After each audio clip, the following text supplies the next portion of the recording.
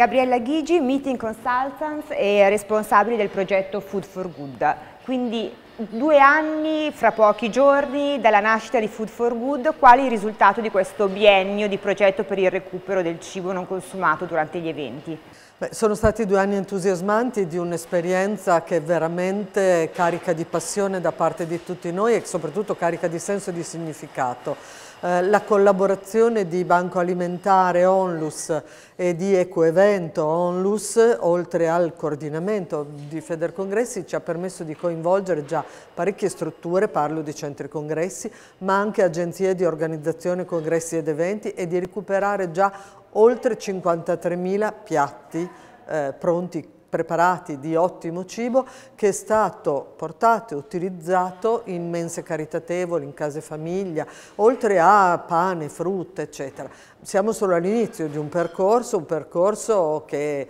eh, vuole arrivare al 100% degli eventi che si organizzano in Italia, quindi a non buttare nulla, nulla di quello che può essere ancora buono, che può essere due volte buono ed essere mangiato, quindi nutrire delle persone che ne hanno bisogno.